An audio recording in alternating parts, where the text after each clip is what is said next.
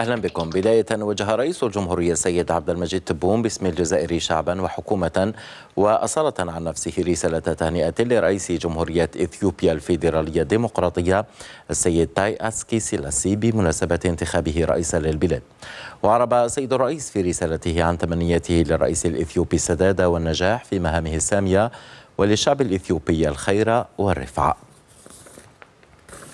وبمناسبة انتخابه رئيسا لعهدة ثانية تلقى رئيس الجمهورية السيد عبد المجيد تبون رسالة تهنئة من قبل رئيس جمهورية باكستان الإسلامية السيد آصف علي زارداري أكد فيها أن الجزائر تحت قيادة السيد الرئيس ستواصل ازدهارها وأن باكستان تقدر عاليا صداقتها مع الجزائر القائمة بثبات على وحدة العقيدة والقيم المشتركة والتعاون في المحافل الدولية وعازمة على العمل الوثيق مع الجزائر للمضي قدما في تعزيز الشراكة العريقة بين البلدين. كما تلقى السيد الرئيس رسالة تهنئة من قبل رئيس غينيا الاستوائية السيد أوب يانغ انجيما عرب فيها عن تمنياته له بالنجاح والتوفيق خلال عهدته الرئاسية الجديدة. مؤكدا إرادته الصادقة في تعزيز علاقات الصداقة والتعاون البيني والعمل مع سيد رئيس الجمهورية للارتقاء بها إلى مستوى الامتياز خدمة للشعبين. وتلقى السيد الرئيس رسالة تهنئة من قبل رئيس مجلس القيادة الرئاسي للجمهورية اليمنية السيد رشاد محمد العليمي عرب له فيها باسمه وباسم أعضاء مجلس القيادة الرئاسي والحكومة والشعب اليمني عن خالص التهاني وأطيب التبريكات متمنيا للسيد الرئيس التوفيق والسداد وللشعب الجزائري الكريم كل التقدم والرخاء في ظل قيادته الحكيمة. دوليا شدد ممثل الجزائر الدائم لدى الأممية المتحدة عمر بن جامع مساء أمس بنيويورك على ضرورة تحرك مجلس الأمن بشكل حازم للمحافظة على ما تبقى من مصداقيته وفرض وقف إطلاق النار في غزة في ظل استعمالية الكيان الصهيوني التجويع كسلاح للحرب وفي كلمته خلال جلسة إحاطة بمجلس الأمن الدولي حول الوضع في غزة ولبنان بطلب من الجزائر وسلوفينيا أكد بن جامع أن قرارات مجلس الأمن تحظر صراحة استعمال التجويع كسلاح حرب منتقدا آه، غض المجتمع الدولي الطرف والتزامه الصمت إزاء جرائم الكيان الصهيوني. These briefings highlight the horrifying consequences النتائج المروعة لآلة الحرب الصهيونية التي لم ترحم ولم تستثني أحدا في غزة هي الآن توسع وحشيتها إلى لبنان. المجازر والقتل أضحوا واقعا ماساويا في غزة ويستمر بلا هوادة.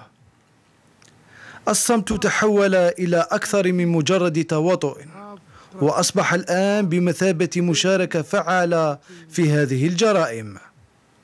هدف سلطة الاحتلال واضح وهو طرد الفلسطينيين من أراضيهم سعيا بألا يبقى أي فلسطيني غرب نهر الأردن. إنه انتهاك فاضح للقانون الدولي والقانون الإنساني الدولي وهي محاولة مجرمة لتنفيذ خطة التهجير. إذ نشهد على هذه الوحشية لابد من الاعتراف أنها تعطينا لمحة عما ينتظرنا مستقبلا. وفي تطورات الوضع بالأراضي الفلسطينية المحتلة يتواصل العدوان الصهيوني على قطاع غزة والذي يدخل يومه السبعين بعد ثلاثمائة.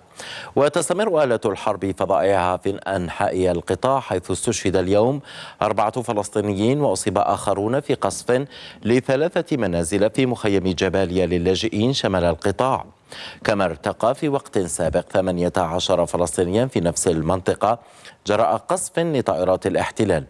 فيما استشهد أربعة فلسطينيين وأصيب عدد آخر بجروح في قصف على منزل شرق مدينة خان يونس.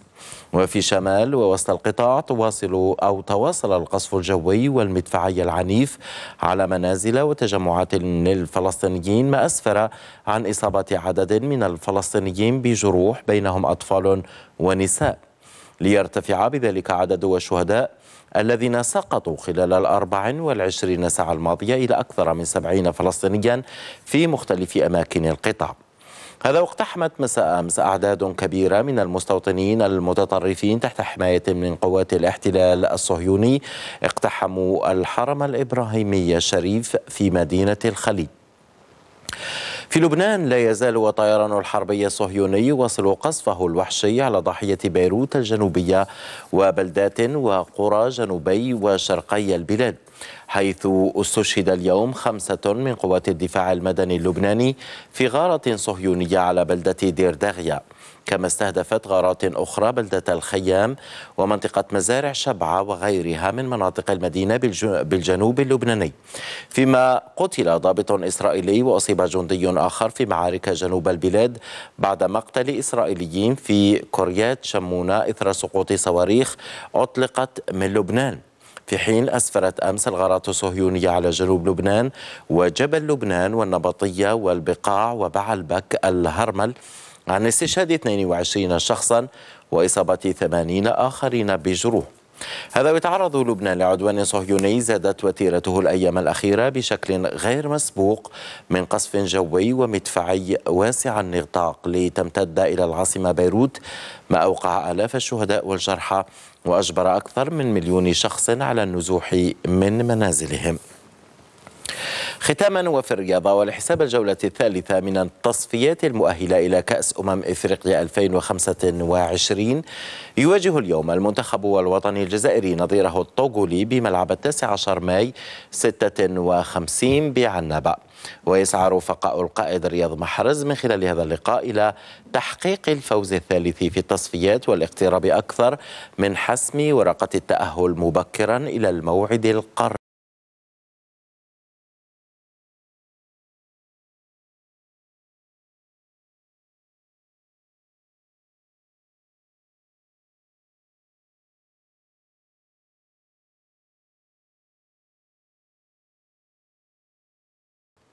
هذا وبإمكان الجمهور الرياضي متابعة لقاء الجزائر ضد الطوغو سهرة اليوم مباشرة على القناة الأولى الأرضية بداية من الساعة الثامنة مساء. فحظ موفق للخضر في هذه المنافسة الإفريقية.